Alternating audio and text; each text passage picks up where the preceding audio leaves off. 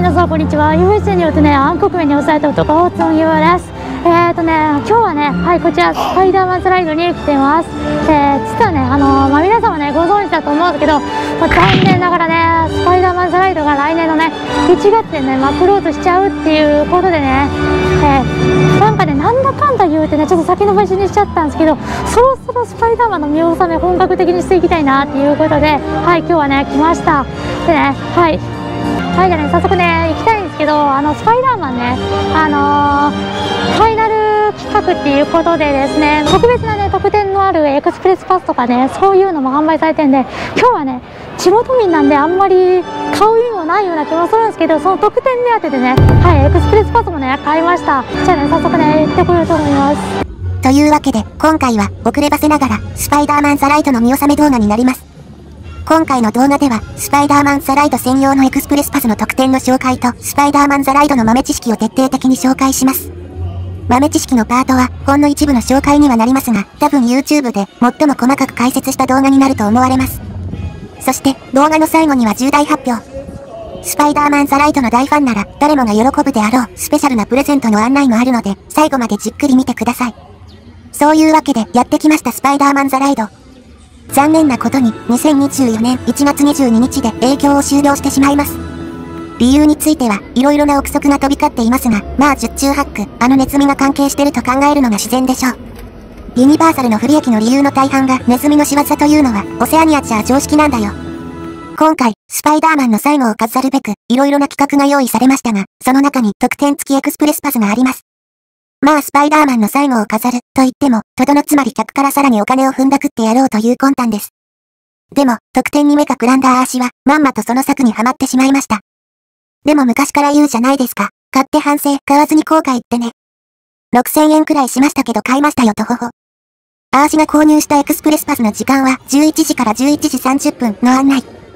あれ、エクスプレスパスの長所って時間指定がないことだったような気がしますが、どうやらこのエクスプレスパスにはあるようです。もし指定された時間帯が空いてる時間帯だったらなんか損した気分になりますけどね。どうせなら混雑してる時間帯とバッティングさせたいのに。まあ11時になるまで適当に暇を潰そうと思います。今回、スパイダーマンザライドがクローズするにあたり、様々な催しがあります。その一つがこれ。アメージングスパイダーマンストアです。ショーウィンドウに何やらディスプレイがあります。こちらねアメージングスパイダーマンストアですけどねショーウィンドウにねあの56日のね残りのカウントダウンがね表示されてますね。でねこのストア内にもねあの特設コーナーとかがあるんでちょっとね早速ね行ってこようと思います。ストア内も売り場面積の4分の1ほどを削ってスパイダーマンの歴史を振り返る特設コーナーが設置されています。はいこんな感じでね昔ね懐かしいねグッズなんかもねはい展示されてます。はいこれとかもね昔実際に売ってたねグッズですね。ポップコーンバケツねめちゃめちゃ懐かしいですね。あとねこのネクタイですね。このネクタイねあのパンフレットでしか見たことないんですけどあの当時ねあの見た時からねこれつけるやつおるんかなって疑ってたのを今覚えてます。はいこんな感じでねあのストア内にはねこういう感じであの写真スポットなんかもねできてます。後ろにねあのモニターでねその残りのね日数のカウントダウンしてますけどね。もうあと56日ですよ。いやもう早いっすね。どこそのターミネーターとバックドラフトにはしてくれなかったような高待遇で最後を飾ろうという式を覗かせます。モニターには秒刻みでカウントダウンがされています。どこその白馬探偵もにっこりの仕様です。ただ、どうやらこれは普通に残りの日数をカウントしてるだけで、例えばアトラクションの影響を終了した瞬間にタイマーが0日0時0秒になるということはないようです。知らんけど、ちなみに、ファイナル企画として、こんなに可愛いグッズなんかも発売されています。ハイドロマンとスクリームがいないのはご愛嬌。では、まだまだエクスプレスパスの指定時間11時になるまで時間があるので、暇を潰します。やってきたのは、スパイダーマンのフォトオポチュニティ。ここでも写真が撮れるので、せっかくなので撮ります。ちなみに、スマホと有料の写真2つ撮ってくれますが、有料の写真は、先ほどのエクスプレスパスのサービスには含まれていないようです。これも含めてくれたなら、6000円でも、まあ結構お買い得なんですけどね。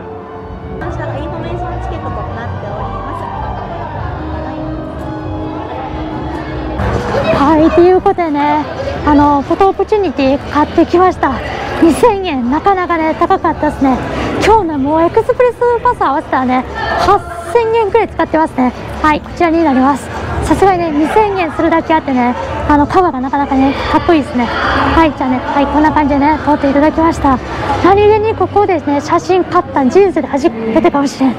あでもなかなかいいいい感じやなって思いますはいでねスパイダーマンねなくなるのはね本当に残念なことなんですけどスパイダーマンがなくなることでいいことがあるのかって言われたらまあ強いて言うんだったらあのここの通路がね通れるようになるかもしれないっていうことですね。あの実はねここのねフォトオプチュニティねその増設されたもんなんで本来ここって通路として通れるんですよ。でも写真スポットにしてるんでこの通行止めっていう感じになるんですけどスパイダーマンのアトラクションがなくなったんで必然的にここのねフォトスポットもなくなっちゃうんでここがねまたね開業当初みたいにね通行できるところになるんじゃないかな思いますはいじゃあねちょっとね時間になってきたんでねエクスプレスパスでねちょっと早速ね乗ってこようと思います何気にエクスプレスパスでねスパイダーマンザライド乗んのマジ人生初めてやわじゃあね早速ね行ってきますそれでは、地元民ゆえに一度も使ったことないスパイダーマンのエクスプレスパスルート、早速行ってきます。エクスプレスパスのルートは初めて通りますが、おぼろげながら見たことがある風景に感じました。あ、そうだ。思い出した。大昔、病気がひどかった時にゲストサポートパスを使って、このルートを通ったことがあります。いや、なんだか懐かしいな。エクスプレスパスのルートは、もちろんスイスイ速いですが、Q ラインとかは全然見れないですね。あーしは今日、スパイダーマンの見納めに来たので、Q ラインも見ていかないと落ち着きません。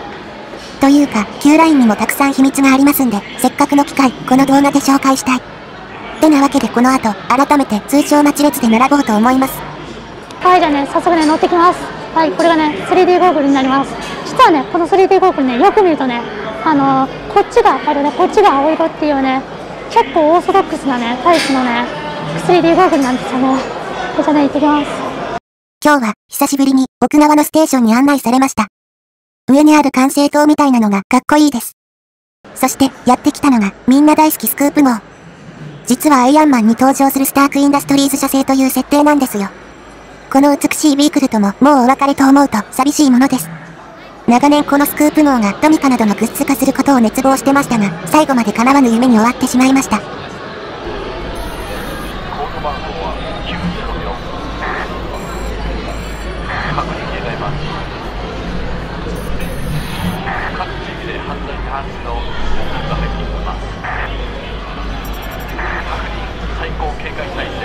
体験してきましたあのね本当はねあのエクスプレスパス買ってるんでライドフォトとねあとスペシャルアイテムもらえるんですけど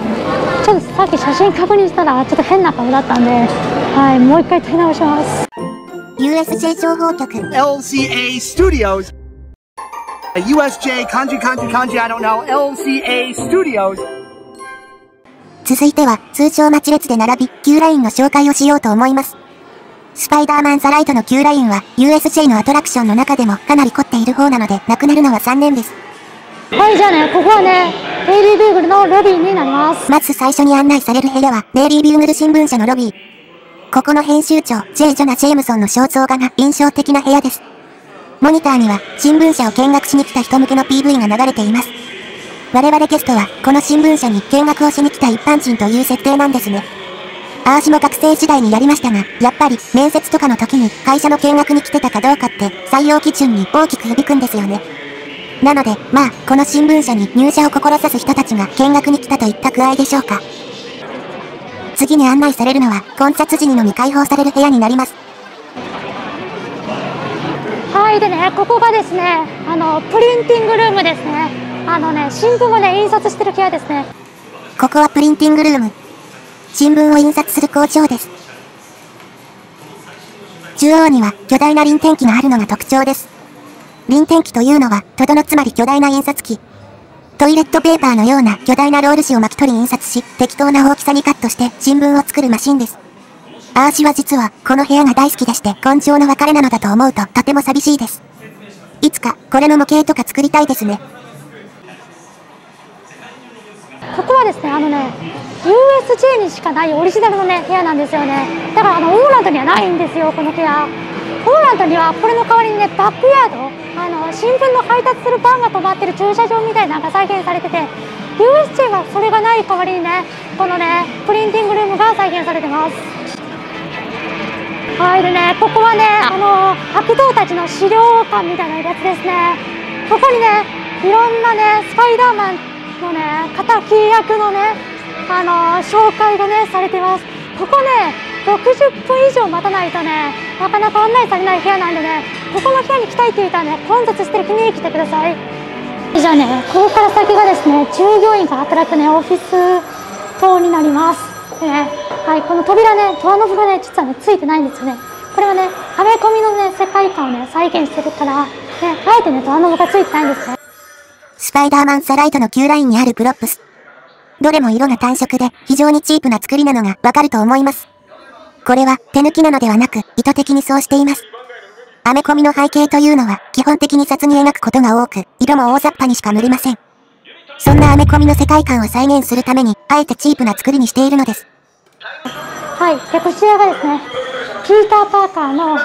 え、仕事場になります。今日はね、このカレンダーにも載ってますけど、独立記念日ですね。ここにね、あの、ラジオがあると思うんですけどね、これでね、あの、警察の無線をね、傍受してたんですね。それで事件を知ったね、パーカーは、はい、この次の部屋ですね、この暗室写真を現像する部屋にやってきてですね。ここでスパイダーマンに変身してそしてこの小窓からね事件現場に向かったっていうわけですね。その時にね手に建造液がついてしまってこのようにね壁にね手形が残ってます。実際のね建造液ってねこんな暗闇で光ったりしないんですけどねところで皆さんフィルム写真の幻想ってご存知ですか？今でこそ写真は SD カードで保存するもの、というかスマホしか使わない人にとってはさらにそれすら無縁ですが、昔のカメラはフィルムで写真を保存していたんですよ。それをどうやって幻想するかというと、赤ランプのみで照らした暗室でトレーに注いだ幻想液などに銀河紙を浸して写真を出力していたんです。アーシが小学生の頃までギリギリこの方法が主流でした。最近、映るんですブームが再燃したりはしたものの、現在では滅多に使わない技法なので、USJ の看板アトラクション、スパイダーマンザライドも考えてみれば、古いアトラクションだなぁと感じさせられます。今、写真がゆっくりライトアップされましたが、これは、写真が幻想される様子を表現したものらしいです。そして、さらに奥に進むと、パーカーの同僚たちが働くオフィスに着きます。しかし、見学者以外の人影はなく、電話も鳴りっぱなしで、誰も出ようとしません。実は、ここにも隠された秘密があり、このオフィスにはテレビがありますが、そこでは、ニューヨークで今起きている山頂がリアルタイムで報じられています。これを見たビューグルの社員たちはたまらず逃げ出してしまい、もうこの新聞社には、ピーター・パーカーとジェームソン編集長、そして何の知識もない見学者のみというわけです。一末の不安を与えられながら、見学者は次の部屋へと案内されます。ここは、デイリー・ビューグル社のギャラリー。受賞歴などが数多く展示されています。ここにも少し小ネタがあり、スパイダーマンの原作者であるスタンリーがいます。彼はアトラクション中にも登場するので探してみてください。そして別のヒーロー、キャプテンアメリカと仲良く手をつなぐジェームソン編集長の姿も。編集長はなぜかスパイダーマンを毛嫌いしてますが、他のスーパーヒーローには比較的友好的であることが表されています。続いて案内されるのがプレゼンルーム。雲を模した柱がある特徴的な部屋です。ジェームソンはスパイダーマン嫌いなのに、なんでこのデザインなんですかねこの部屋は、どうやらスクープ号のプレゼンをしていた部屋らしいのですが、スクリーンが編集長の部屋となぜか生中継されています。そこで、編集長は、衝撃的なことを提案します。なんと、何の経験もない見学者かっこ保険未加入をスクープ号に乗せて取材をさせに行こうというのです。ちなみに、ギャラはなし。あ、その代わりに、ただで新聞をくれるらしいです。天ぷらの油取りにでも使えってか？冗談ですよね。そんなめちゃくちゃな案は決行されてしまい、我々ゲストは事件渦巻く夜のニューヨークに案内されるというわけです。Q ラインがちゃんとストーリー仕立てになっていてとてもいいですね。しかし、それに腹を立てたスパイダーマンは、最後、ドクターオクトパスから旅客した反重力光線銃を使い、ジェームソンをプカプカ浮かべるという罰を与えるのでした。オチまでしっかりしていて非常にいいです。てなわけで、そろそろライドフォトを購入しましょうか。今回アーシが購入したエクスプレスパスには、ライドフォトと特典が付属しているので、すでに料金は前払いしてる状態です。極論不要だとしても必ずもらいましょう。動画では省略していますが、実際にはアーシが失敗しまくったせいで、5回くらい撮り直してます。その間、同情させられてるカメラマンさんは相当気の毒です。はいじゃあねこちらね写真購入しましたいやね何度も悩んでねついにね閉園時間まで悩んでベストショットを入れましたはいちらですねしかなんかめっちゃ臭いですよね。なんか練り消しみたいな匂いするんですけど何なんですかね。はいこれねライトフォトになります。はいでね購入ね写真がねはいこちらになります。まあなんか正直ねちょっと微妙な顔なんですけど、まあ、これがね一番のベストショットでした。ちなみにね横にいるのはカメラマンさんです。はいでねあのエクスプレスパスを買った人はですねこれだけじゃないんですよね。あの今だけねはいこういう感じでねデイリービーブルのね新聞なんかもねついてくるんですよね。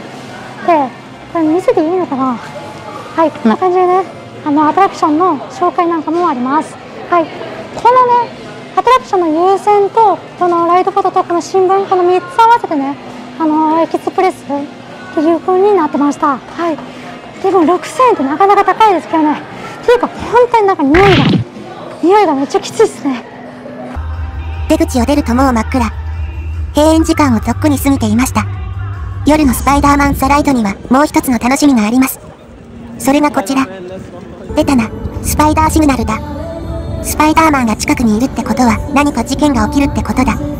スパイダーシグナルを見かけるとつい追いかけたくなりますよね。でも走ったりしちゃダメですよ。こうなります。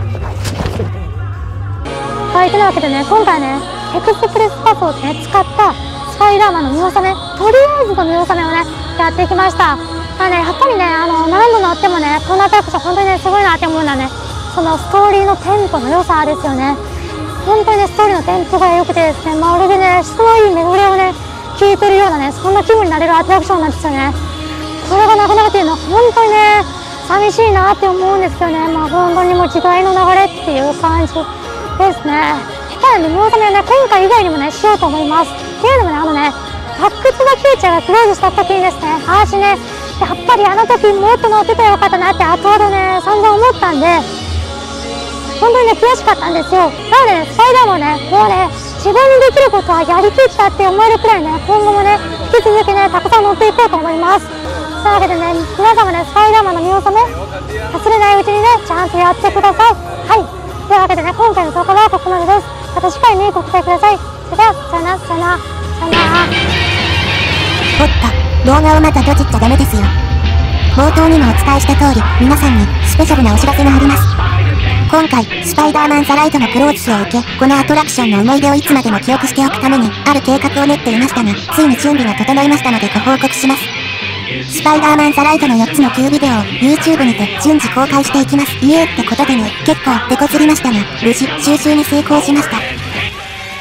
そしてさらに動画でも紹介したピーター・パーカーがラジオで傍受していた警察無線も公開。皆さん、ぜひ楽しみにしててください。おっと、おしゃまんべちゃんが呼んでるから、あーしはそろそろ行くよ。それじゃあ。